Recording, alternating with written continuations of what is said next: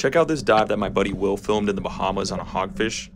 You can see as he's coming down, he's lining up his shot, waiting for that hogfish to turn, and boom, perfect shot right behind the gill plate. That's where you want to put it. And now you see he's coming back up to the surface, and he's looking around because there is a lot of sharks in the Bahamas waters. It's a real big problem.